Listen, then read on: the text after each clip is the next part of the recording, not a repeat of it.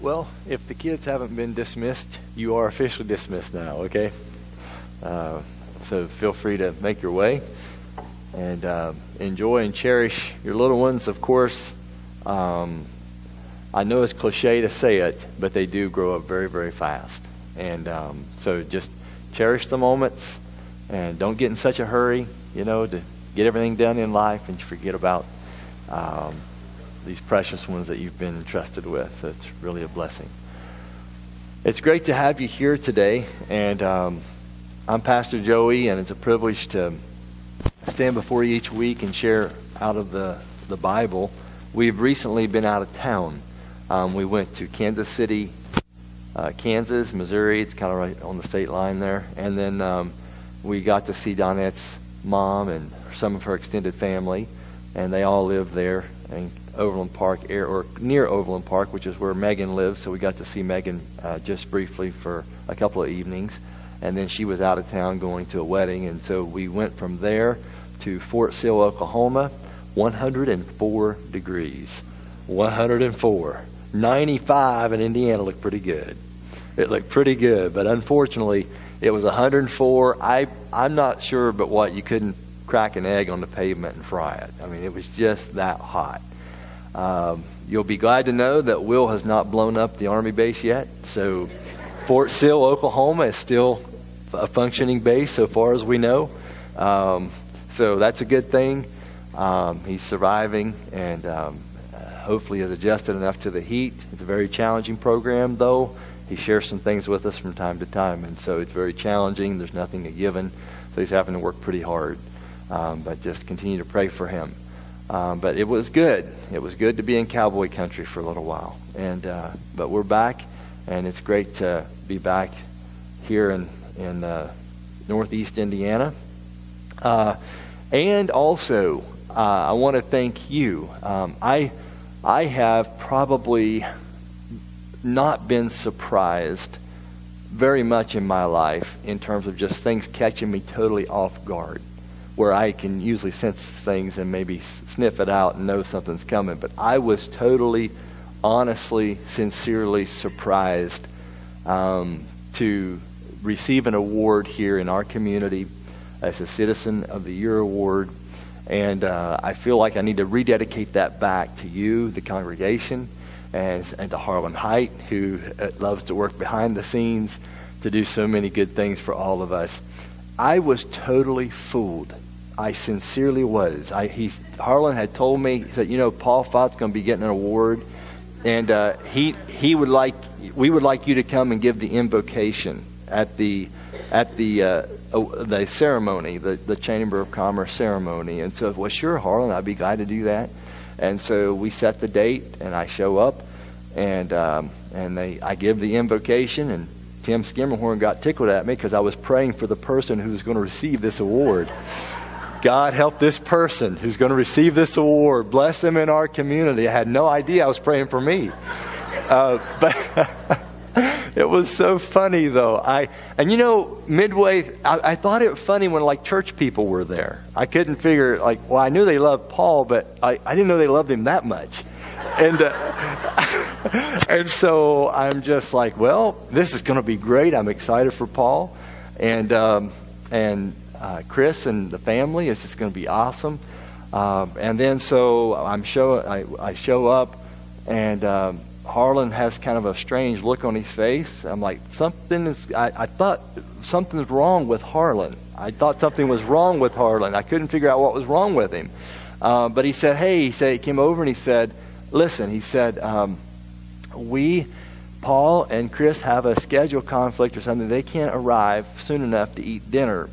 We've got meal tickets. I'm going to quickly call your wife and son, have them come and just eat the meal in place of Paul and Chris. Is that okay? I still had no idea. I, it's Harlan, it's fine. I'm sure. Just have them come down. It'd be nice to have dinner with them. And I still, and they walk in, they sit down by me. I, I'm clueless. I'm like, nah, I don't know. This is good. Good for them. And then, uh, so it didn't hit me then. And then I started getting a clue when uh, Harlan gets up and he says something about this person has been a pastor in our community for several years. And I thought, I did not know Paul Fott was a pastor in our community for several years. I really didn't know. I'm like, man, I thought I knew the place pretty well, but he's been pastoring all this time and never told anybody. I, seriously, that's what I was thinking. I had no idea.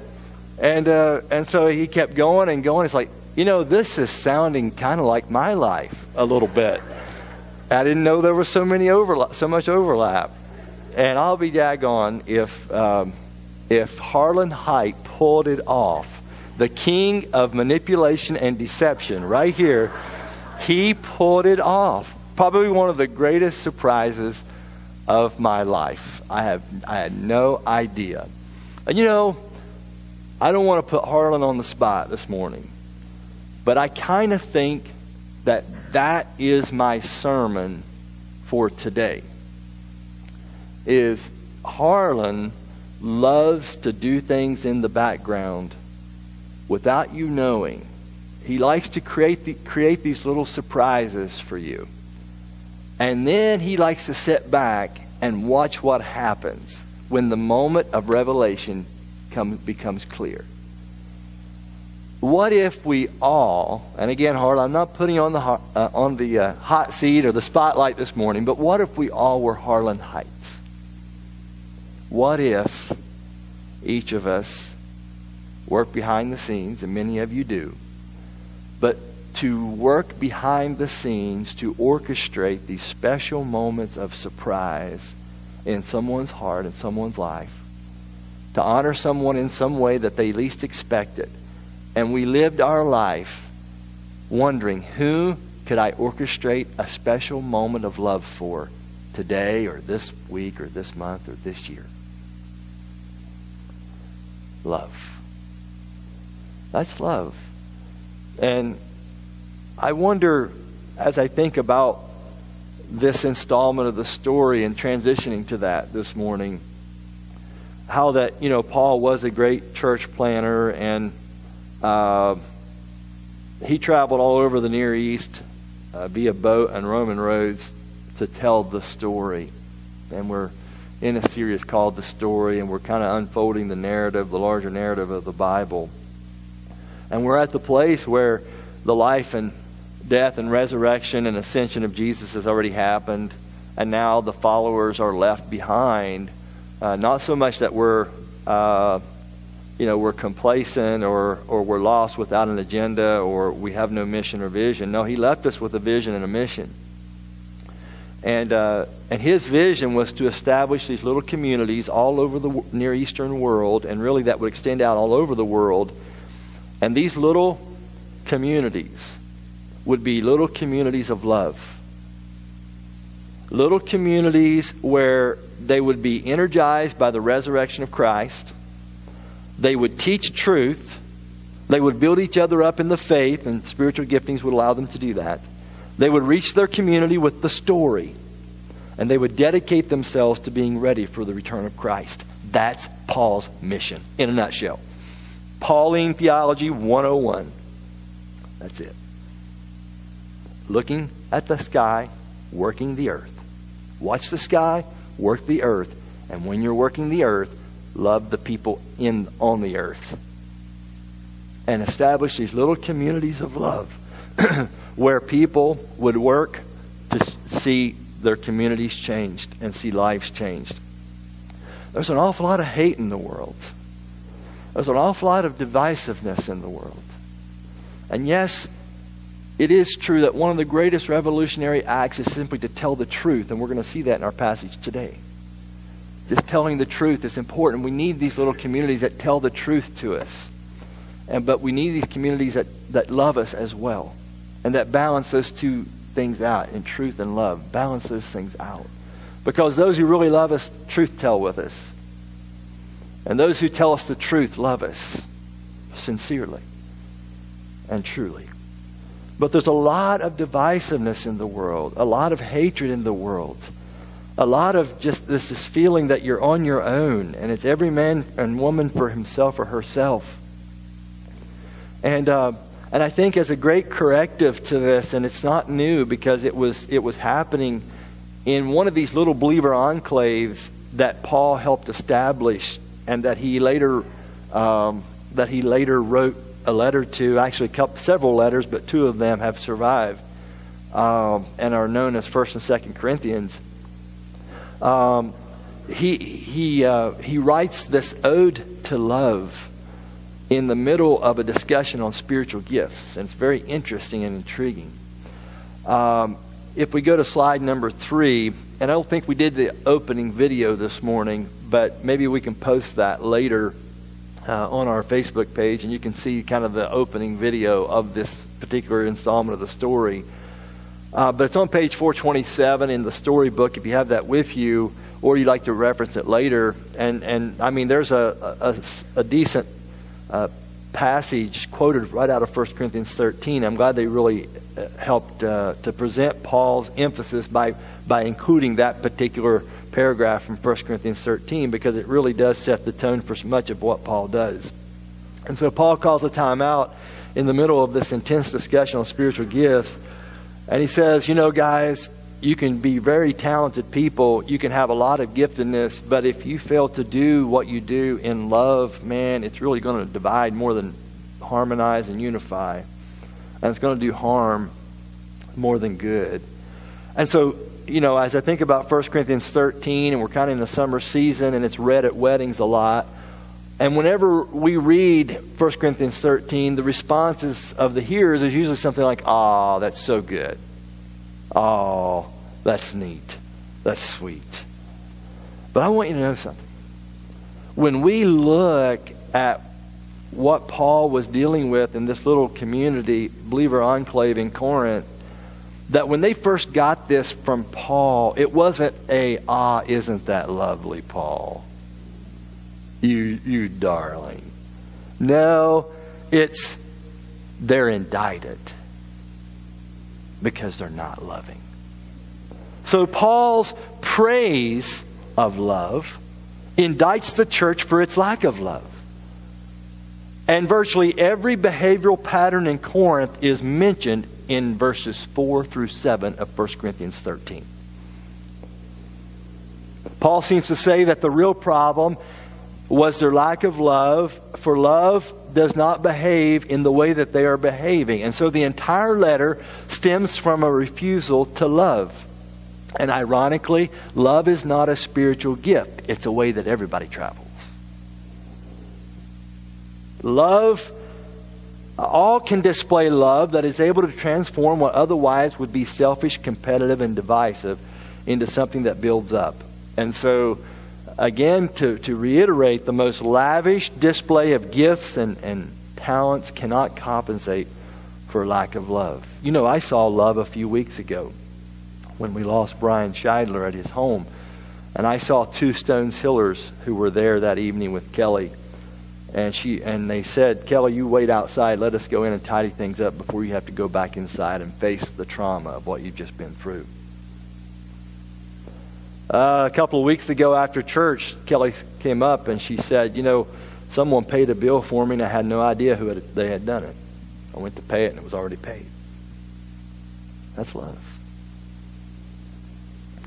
Um, I saw Tim and Debbie Skimmerhorn and so many others help with sound, and Barb and Linda Owen, uh, Barb Donnelly, Linda Owens, uh, and the wonderful food preparation team create a, I think, our first ever taco bar in honor of Brian.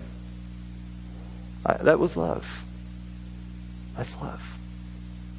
It's not so much the big, big things; it's those little things that we do. You know, I saw love the other day. I was running the Flotilla Road Race in Syracuse. And a, I was running along trying to get my breath, and Joe Keene stopped traffic for me. Joe Keene usually sits right up here. I don't think he's here this morning, but he stopped traffic for me and let me go by without getting ran over. And that's always a blessing. and it's really kind of a pain to have to worry about that when you're barely surviving, sucking wind, trying to get oxygen to survive. But he took care of that. That's love. Um, when we went out of state uh, recently, uh, like I said, Joe and Janet and Jenna Hutzel agreed to look after our grouchy dogs for a whole week. And, um, and we really appreciated that. That's always something you have to worry about when you go out of town. I, I saw love uh, when Sarah Weimer posted about the 139th picture of her smiling, handsome baby son. I think that's the most photographed baby in Northeast Indiana. Love. I saw love, and I'm just taking a cross, a recent cross section. Okay, I could do this any given week or month of life here in, in our area, but uh, I saw love when uh, Paul fought in the uh, the uh, volunteer, the year of volunteerism, Operation Foundation 2016, organizing ourselves and our community for extreme acts of volunteerism. That's love. Some guy all tatted up rough looking dude rolled down his window, and I'm in the middle of all the poison ivy and the, all the other crap. Okay, the ground is cursed. The ground is cursed. I just tell you that. But I was in there, you know, I'm going to town with my weed eater and trying to get that stuff out of there. And the rough looking guy didn't know me from Adam. And he rolls down the window and said, Hey, thanks for doing that. You're welcome. No problem. Glad to do it. It's a gateway to our city from the north side. It's important people have a good impression when they pull into our city. No problem. But all that's possible. Not just that, but so many of you are doing things for our community and have done things for our community, and it's all done. When it's all done in the name of love, it's a beautiful thing. I had my neighbor drop by a black raspberry pie. As you know, I'm a sugar addict. I will never. Hi, my name is Joey. I am a believer in Jesus, and I struggle with sugar addiction. Thanks for letting me share. That's my story. Okay? I always have been. I always will be. I think to the day I die. But uh, God is good. Neighbor dropped by a black raspberry pie. And I enjoyed it like four or five different times. I'll say it that way. Love. That's what love does. Dana Brown led an installment of the story in my absence. Uh, Tom Leach did before that. That's love. An act of love. I think these are the kinds of things that change the world. Love endures forever. It's superior to imperfect gifts every time. Uh, I think sometimes we look for the heroic deeds or acts. Sometimes we look for the person with the greatest prophetic utterance, or maybe we look to someone with a sensational spiritual gift. And these kind of catch our attention sometimes. But I think that uh, when we look at Paul, what Paul says here, uh, instead of sensational display of spiritual utterance, how about just getting up and going to work every day and using all of your words to build up other people in a way that engenders faith in them? How about that? Or instead of wowing the crowd with all, all that the future will bring, uh, 1 Corinthians 13, maybe slide number 4, put that up, and I'm kind of referencing it now. Uh, the verse, first few verses. Instead of wowing the crowd with all that the future will bring, how about, and it's important that we understand prophecy, and we definitely will deal with that as we deal with books that deal with that in the Bible. But how about just giving someone a little bit of hope that their tomorrow will be brighter because you are in their life loving them? How about that? that their tomorrow will be better because you're in their life. You're going to love them. That's a beautiful thing. And instead of becoming a hero or a celebrity, how about just doing little acts with great love every day for as long as you have life?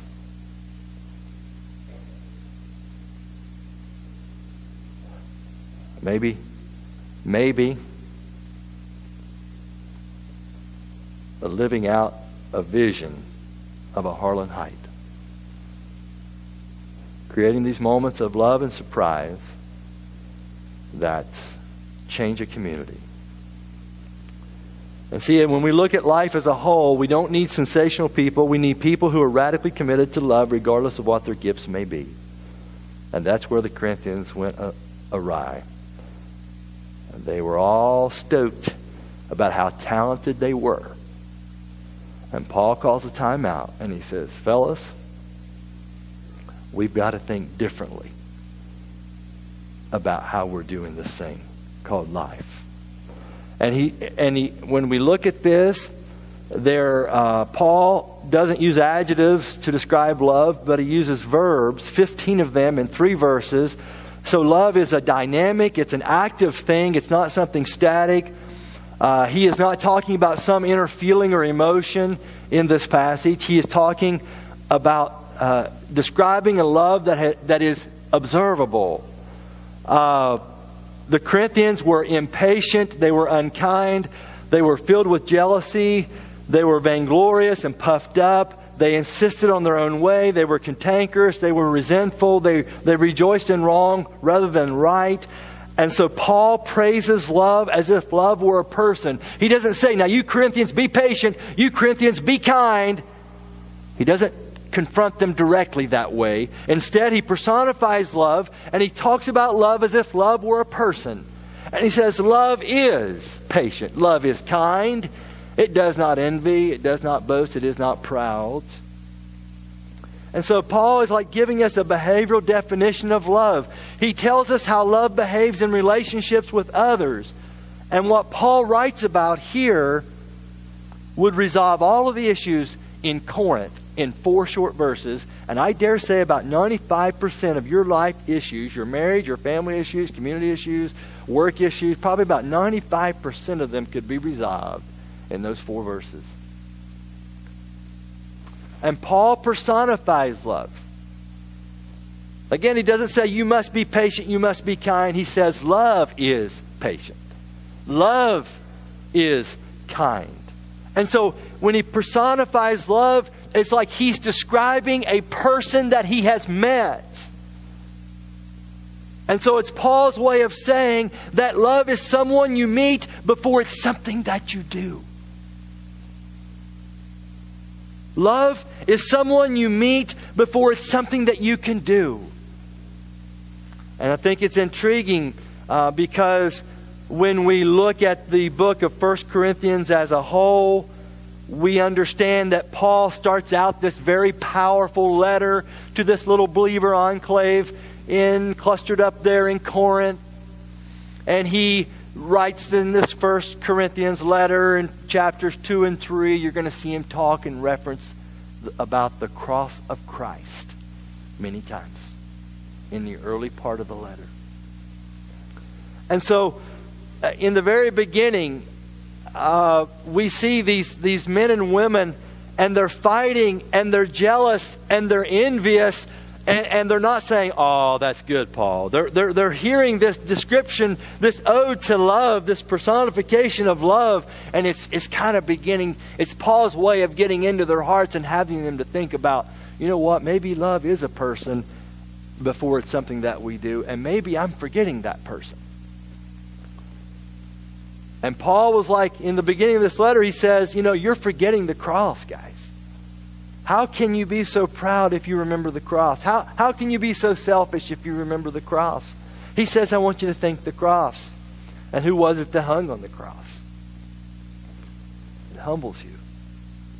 And, and who do you see as the ultimate example of this passage? In fact, if we went through this passage, you could substitute the word love you could substitute that Jesus, and you would have a great description of the life of Jesus and all that he went through. Because where do you see the ultimate example of, of love does not keep a record of wrong? Hanging on a cross, he said, Father, forgive them. They don't know what they're doing. Or uh, where do you see the ultimate example of love never giving up? Father, remove this cup from me. Never let, nevertheless, not my will, but thine be see, the ultimate source of love is Christ. And before love is a behavior in a Christian. Love is an experience for the Christian. And love is something or someone you meet before you do it. And so Paul is saying for these guys, and it's an important part of the story, that there's one who lived a life of sacrificial love. And when we begin to live a life of sacrificial love, then good things begin to happen. Marriages can get healed, and families can be saved, and, and communities can be restored to all that they were intended to be. At one point, Paul writes in 1 Corinthians 6, he says, adulterers, idol worshippers, homosexual prostitutes, the greedy, thieves, drunkards. Then he says, Such were many of you, but you were sanctified, you were justified in the name of the Lord Jesus Christ and the Spirit of our God. Now imagine all of the relational problems that they had in this, in this community of believers trying to heal after adulterous relationships, trying to get past experimental homosexual acts, trying to get past all of the drinking and the partying and the things that you didn't see coming in your life that you did because you engaged in that kind of a lifestyle. This was one messed up, chaotic community. And Paul says, you know what, guys? The only way we're ever going to fix it is you got to meet a person. And until you meet a person and have that power working in your life, you're going to continue to have all the, the chaos and things that you've been having. And when we look at this in, in 1 Corinthians 8, and what's interesting is that the terminology he uses here in this passage, we've seen it in other places in the book of 1 Corinthians. In 1 Corinthians 8, he calls them puffed up. And then he says here, love is not proud, verse 4. It does not boast. But they were puffed up in 1 Corinthians 8. And in chapter 10, he says they're self seeking. And that's the word that he says here love seeketh not her own. Uh, in chapter 7, he calls them rude. And so, in a way, he's addressing the use of spiritual gifts uh, in this 1 Corinthians 13 passage, nested between 1 Corinthians 12 and 14. All right? He interrupts that flow, that presentation on spiritual gifts, and says, by the way, love is a way we all can travel. Here's what would resolve not only the use of spiritual gifts in your body, here's what would resolve 95% of the problems in the whole letter. Love is a person you meet before it's a behavior that you do. And love learns to look past the insults. Love is patient, he says. Patience is an inner power to bear injuries without meltdown. Love is kind. It's active. It's passive in that it's patient. We wait sometimes. It's active in that it's kind. It shows how we treat someone with kindness. Uh, Paul says it does not envy. Love, Jesus does not boast. Love, Jesus is not proud. Jesus does not dishonor others. He is not self giving or self seeking. He is not easily angered. He keeps no record of wrongs.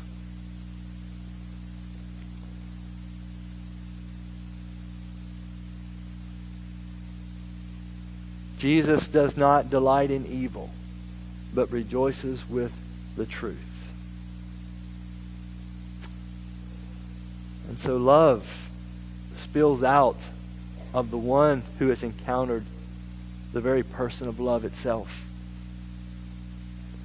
Verse 7 Jesus always protects. Love always protects. You know, I'm going to believe the very best about a person and I'm going to choose to treat them in high regard just because that's what love does.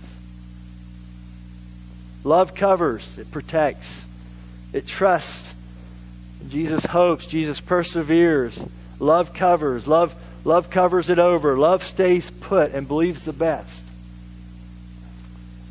Love works at the family level, it works at the employment level, it works at the church level, the community level. It's a choice that we make. Love never fails. Slide number five.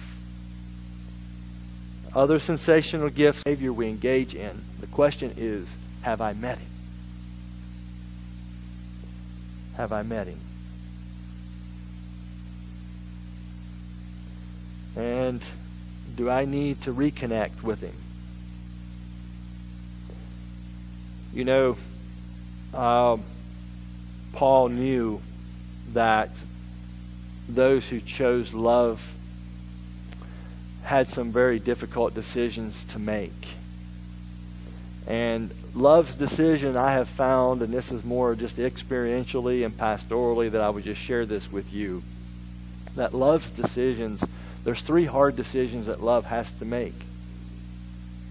And one of the first, they were in their debt to each other. They had offended each other. They had, they had, um, well, they have lived the opposite of all that Paul presents here. And uh, and one of the first decisions that they were going to have to, to, to make, and that love was going to have to make, is to cancel the debt that people owe you. And maybe there's a debt that someone owes you, and they've really disappointed you in life, and they've really made life really difficult for you. And I, you know, I know I'm, you know, Mr. Citizen of the Year, and I'm the pastor, and I'm this and I'm that. But so many times I've hurt my wife, and I've hurt maybe my family or other special people in my life. And um, and we do that sometimes. We create this kind of relational debt, and it's because we are sinful people and we are selfish people, and we and we forget about who it is on the cross and how we're to live our life self-sacrificially as He lived His. And sometimes we can be harsh with people and we can be cold to people and we can insult people and we can inflict pain on somebody who hurts us and maybe pass judgment on others and, and maybe it makes us feel better after a while if we if we're able to to kind of get back and maybe try to even the score and balance out the debt that's owed. But what happens is it kind of melts us into its likeness over time and if you make the other person pay the debt, you're changing. It is controlling you, and you become something you never wanted to become. And so, love's decision this morning, his very first thing here is cancel the debt. That's what some of you need to do. Write paid in full and have the picture of Jesus on the cross as your payment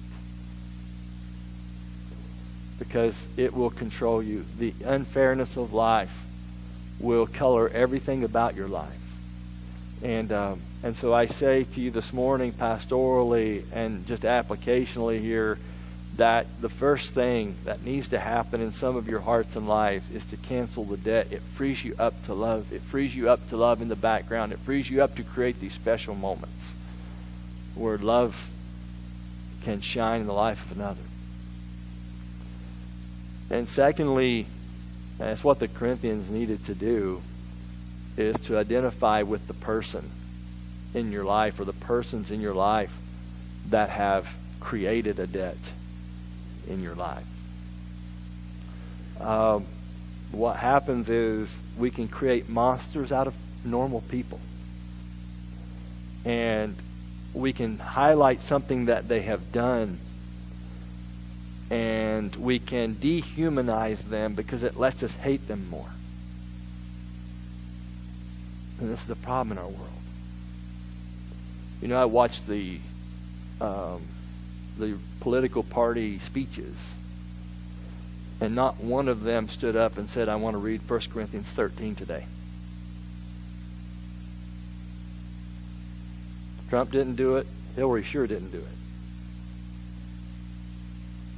Not one. Because it's not about love.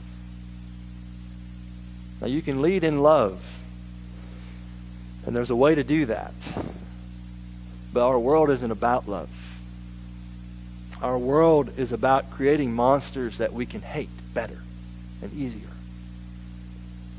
And see, when you've been, when somebody's died on a cross for you, and they've canceled a debt that you owe, it changes the way you look at life.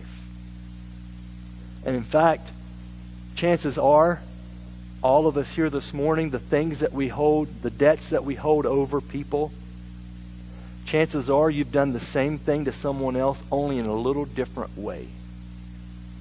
You've robbed someone else of something in a little different way.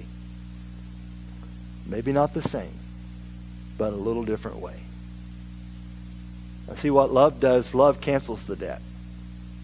Love identifies with the person and gives their humanity back to them and says, you know what? I'm just like you in a lot of ways. And then the, the third hard decision that love has to make is let it go. You move on. You trust God to take care of things. And you pull your mind away from obsessing over it. And you don't give it any more of your energy. And if the other person, uh, you know, the other, if the other person feels like they won something in the game, fine. But you've decided to not even play the game anymore. Because you, you're part of a different and a bigger and a better revolution. Canceling the debt identifying with the person, let, restoring their humanity back to them, letting things go. Does it remind you of somebody this morning? To love somebody not for what they bring you, but just for who they are. To love somebody unconditionally, love for somebody in spite of our sins, love for somebody in spite of the cost. Do you know this incredible love? That when you see it, it just shatters you. It happened about 2,000 years ago. And Jesus came into the garden, everything was thrown at him, and this is the only person who has ever had to love and literally endure everything. First of all, he, he comes to his disciples and he says, You know what, guys? I'm about to die for you. How about staying awake with me for a little while? And three times they fall asleep in his hour of greatest need. Will his love cover that? Will his love be able to cover that? Will his love be able to bear that? Secondly, the Father doesn't, uh, doesn't not permit him to forgo the cup he has to drink it. Third, he's insulted while on the cross. Fourth, he's cut off from the Father's love for three hours prior to his death. He never stopped loving. And see, we have to meet love before you can do love. And before love becomes a behavior in you, it has to become a person to you. Love happened. Love was a person. And when love meets you like that, it changes your whole approach to God and to life, to self and to everyone else. And so this morning, love is a person you meet before it's something you can do.